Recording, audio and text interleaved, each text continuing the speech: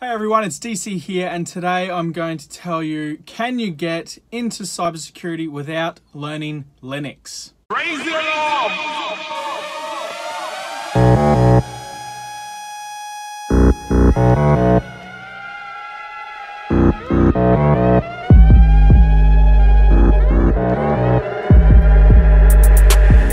So can you get into cybersecurity without learning Linux? The, um, the too long didn't watch version is yes, but also not really at the same time. So let me explain.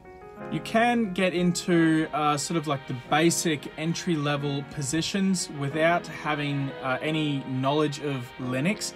However, things are going to be really hard and you're probably going to have to lie on your resume to get that position anyway. With a lot of the courses like the uh, like Linux Plus is a really good one to start with um, as well as like the A plus as well. These are CompTIA certifications, and um, yeah, they they basically teach you the basics of Linux and how to get through and the things you need to know. In other courses like the CompTIA Security Plus, you're also going to be learning a little bit about Linux in there. Um, as well as in the CCNP, I believe, also has some Linux uh, or bash commands in there that you're going to need to learn. And it's, it's all really basic stuff like committing to Git and um, yeah, just things like that.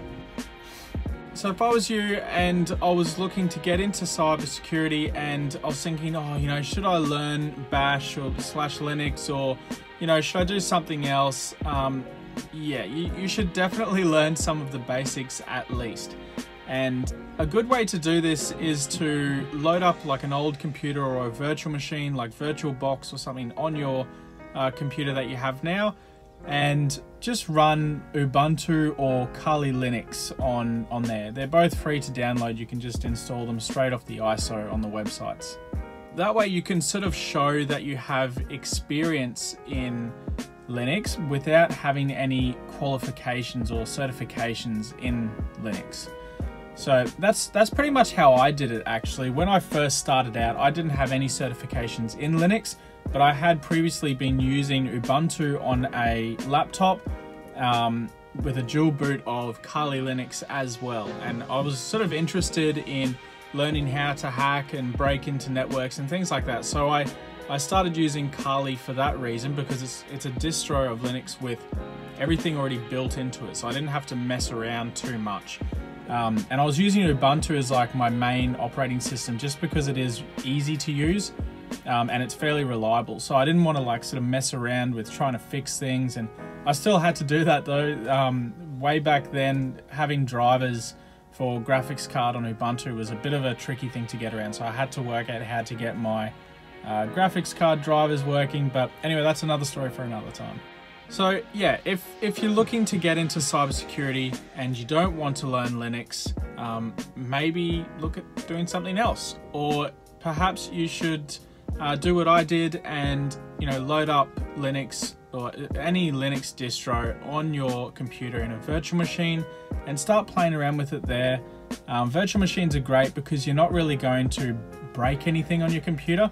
Um, you can always restore it from a, a, previous state or just wipe it and start again. Alternatively, you can also do the certifications, the CompTIA uh, Security Plus, the CompTIA Linux Plus, um, or any of the free courses on Cybrary. Um, and there's another website that's quite useful called Peerlyst, which is P-E-E-R-L-Y-S-T, I think. I'll find it and I'll, I'll link it in the description. But those, yeah, those are sort of where I would start. Um, or also just like YouTubing random tutorials on Linux and how to use, you know, really basic commands so that you can sort of find your way around and, you know, just get the basics like apt-get and, you know, all that sort of stuff. Yeah, that's that's pretty much where I would start. So on the second part of this video, um, I just sort of wanted to get into my own sort of things and, and say, um, yeah, I've decided I am going to start doing some vlogs as well. Um, so just basic, you know, what am I doing today type stuff. So what am I doing? Well, it's Monday. I'm at work. Um, I've just finished going through my tickets and I've just gotten out of a meeting and now there's another meeting with everyone in there, but I don't have to go to it, thank God.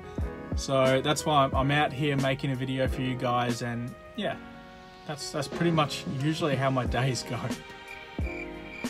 Later this afternoon, I need to assist with a migration project. Um, it's just a bunch of network equipment, so I just need to check over a few things there and um, give some advice for those guys, and then they'll they'll do the rest. That's that's not my job. I stay away from that sort of stuff. I'm just going to overlook it a little bit and give my input, and then say lovey. That's that's me out of it. So as always, guys, thanks for watching this video. Uh, if you do like this content, don't forget to subscribe for more. Uh, leave a comment down below if you've got any questions for me, and please give me a thumbs up. It really helps my channel uh, sort of progress and get better. So thanks for that, guys. I'll see you in the next one. Bye.